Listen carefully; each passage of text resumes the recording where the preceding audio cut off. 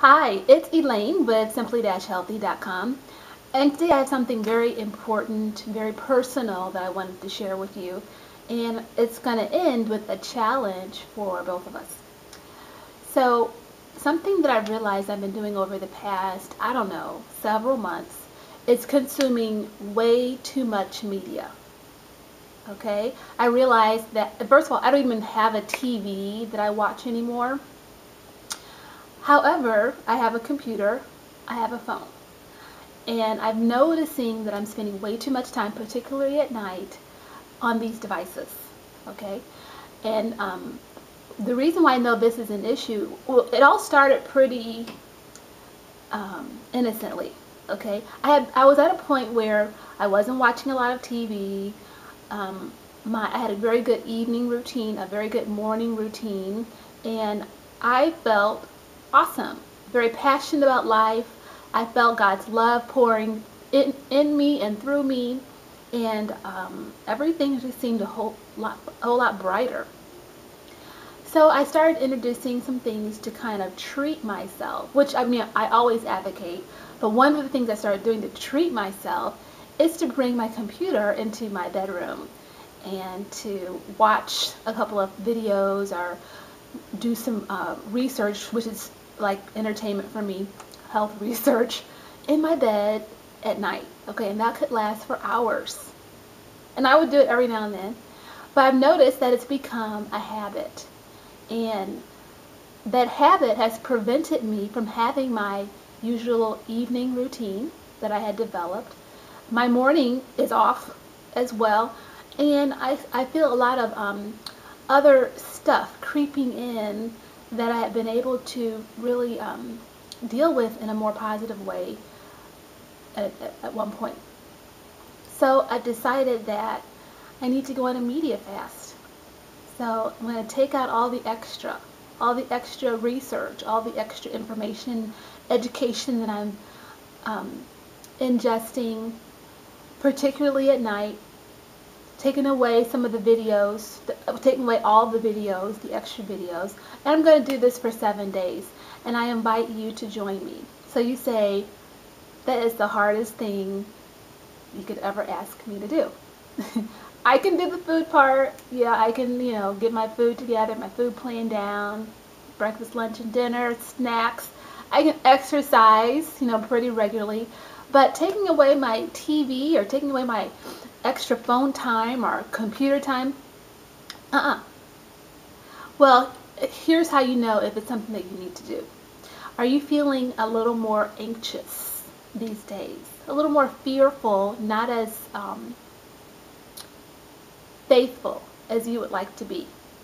Are you having any issues with digestion? Okay, digestive upset, elimination problems. Are, is your sleep poor? Are you not sleeping as well? Waking up in the morning still feeling groggy and lethargic? Are you feeling like you're eating right, exercising right, but the weight's not really coming off like you would anticipate?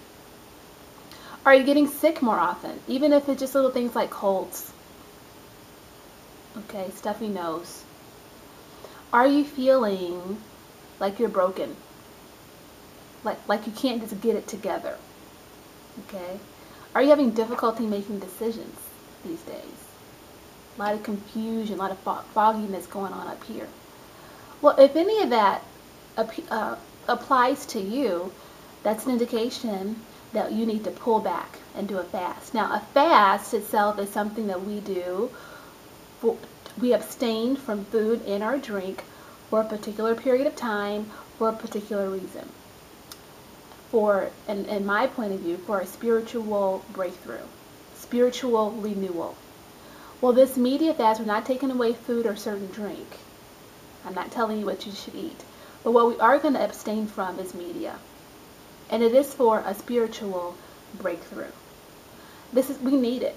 Okay, we are we are being so bombarded by so many um, images that get into our subconscious brain that we're not even aware of. And guess what? 90% of your actions, of my actions, are dictated by our subconscious brain. This is stuff that happens automatically. It has nothing to do with our will. our co- cognition. This is, has to do with just things that are happening, thoughts that you think subconsciously. And it's greatly influenced by external forces. Media being one of the things that's top of the list. Okay? So it's it's needed. I know it's needed for me to pull back, pull back, so that I can um, be refilled. Okay, and whenever we do something for a particular period of time, the optimal result is to create a new habit.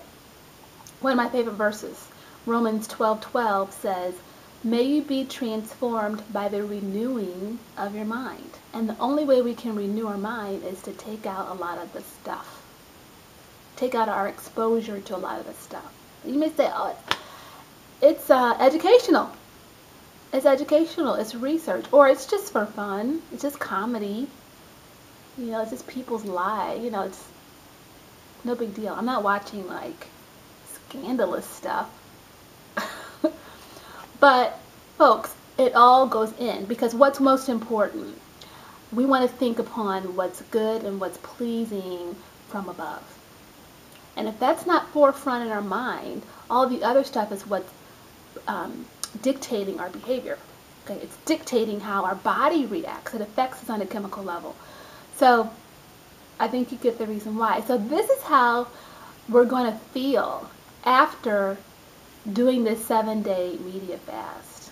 And ideally, we want to continue. That's my intention is to continue. You feel more um, free, free from fear and anxiety.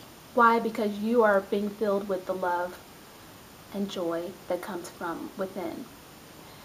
Um, you be more inspired, feel more creative, be, be creative. Have a sense of peace within you that lasts and lasts. It's not temporary. Have self-control. Self-control. So what are some things that you could do? What are some things I'm going to do besides um, my regular media time? Well, take a look at some of your hobbies. Okay, what hobby have you been kind of pushed aside or not really cultivated? Or maybe you don't have a hobby that you can do at home or even outdoors. You know, it depends on when you want to, how you want to operate this. But cultivate your hobby, something that brings you pleasure, that you can just spend hours and hours doing and um, and feel good about it. Read a fictional book. Okay, there are a lot of good books out there. I intend to read um, some C.S. Lewis books. I haven't really gotten into those. The Alchemist is a great book I recommend reading. It's fictional. And these are books that are fictional but have a, a great meaning. But any fictional book, you know, get, get some fictional books. Um, other things you can do is to um, go to bed early. Go to sleep earlier. We all need to be in bed, sleep between 10 and 11 p.m. So if you're finding that your media time actually happens a lot after that, what you could do is just decide you're going to go to sleep earlier okay? And there's different things you can do to get into a routine so that you can fall asleep more easily, but that's for a different video. Email me if you want to know some suggestions. If you have a significant other, a, a husband or a wife, you guys can play together. Okay, an actual game or play together, okay? Explore one another. That would be something awesome to do.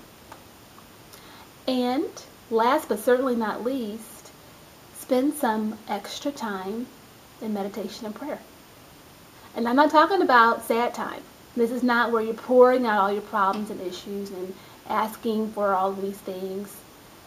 This is when you just get a chance to be in the presence of the Holy Spirit. It's time you look forward to, to be with Him, to, and that you experience um, His love being poured into you. Okay? It's very refreshing time. And something that many of us don't do nearly as often enough. Because when we do these things, uh, we approach life in a totally different way. no matter what the actual circumstances are. Okay? We approach life from a viewpoint of love, faith, joy, passion. It, guys, it's all there for us. And I can tell you all day what you should eat and how you should exercise. But if we're not getting that spiritual food first, it doesn't make a difference. It doesn't make a difference. Our power to do those things that we really want to do positively in our life comes from the source that is within. And the only way we can connect to it and stay connected is to have that time. Have that time separated. Specifically for that purpose. So join me, please. Seven days. I'm going to start Sunday. You start whenever you want to. I'll keep going as long as you want to, whenever you start. And let's do this together. On Facebook, I'm going to be sharing different um, information about why media, what media is actually doing to us. And the flip side, what not having media can do. So it's going to be very informational. Um, actually, I'm not going to be sharing on me on Facebook. I just thought of that because you're not supposed to be on Facebook. That includes social media, the fast. Now, if you have to do the stuff for work, that's totally different. Of course, you have to be on the internet for work. You have to be on the computer. You have to use your phone for work. I'm talking about all the extra things. You know what that is for you. It's going to be different for everybody. Okay? But let's make an effort and do this. Seven days. We can do anything for seven days. And let's create new habits so that we are renewed. Our mind is renewed. Okay? If you have any questions, please contact me at elaine at simply-healthy.com. You can also give me a telephone call at 314-399-9310. I'd love to hear from you. Let's do this together, and thank you for your support. Goodbye.